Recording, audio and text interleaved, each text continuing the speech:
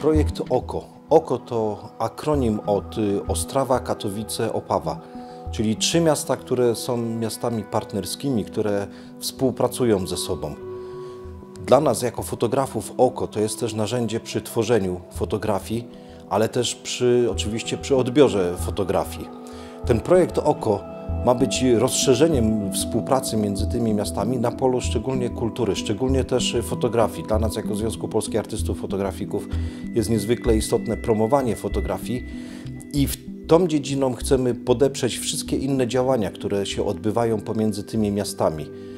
Jednocześnie nasza galeria idealnie się nadaje do tego, żeby promować i pokazywać fotografię. Więc w naszej pierwszej odsłonie pokazujemy pięciu autorów, trójkę z polskich, Michała Całe, Annę Chojnacką i Kazimierza Seko oraz dwójkę autorów czeskich, Andrzeja Durczaka i Dawida Machacza. Já tady prezentuji v Katovicích svůj soubor o Ostravě, který vznikal nebo vzniká od roku 2011 a vlastně týká se takových zanikajících míst v Ostravě, které často souvisely s průmyslem, který je ostatně právě takovým tím propojením mezi Ostravou a Katovicemi, kdy vlastně v Ostravě taky bylo spousta dolů, spousta hutí a postupně to vlastně mizelo, tato, tyto, tyto průmyslové dominanty. A podobně to vlastně bylo v Katovicích a v okolí, v Zabře a, a podobně, takže to si myslím, že je jako docela zajímavé tady prezentovat v Horním Slesku vlastně podobné města s podobnými osudy.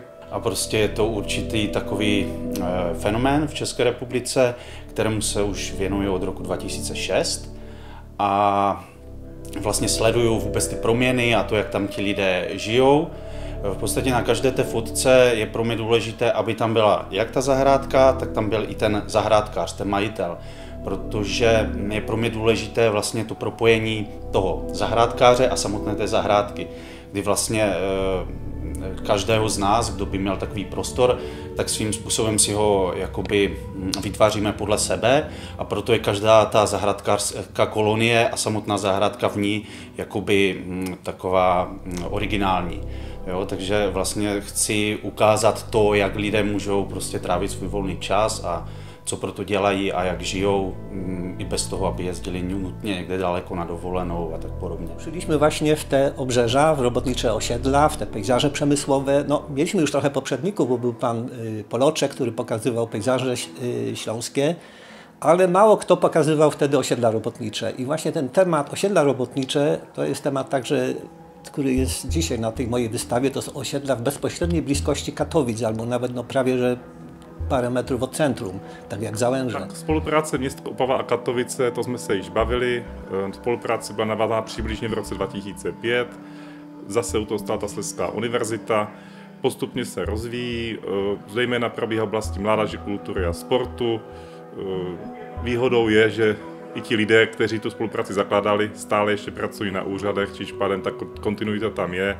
Dneska jsme třeba měli set pod pracovní setkání, kde jsme jednali o sportu a myslím, že bude rok 2018 zase velice zajímavý. Ponieważ jesteśmy bardzo blisko siebie, więc te kontakty są bardzo częste, bardzo owocne i bardzo przyjacielskie. Na tle innych kontaktów nie chcę tutaj różnicować, ale zdecydowanie miasta czeskie, Ostrawa i Opawa no, wyróżniają się aktywnością z nami. Ostrawa jest miastem bardzo podobnym, o podobnej przeszłości, też miastem, które miało charakter czysto przemysłowy i z tego przemysłu wydobyło się.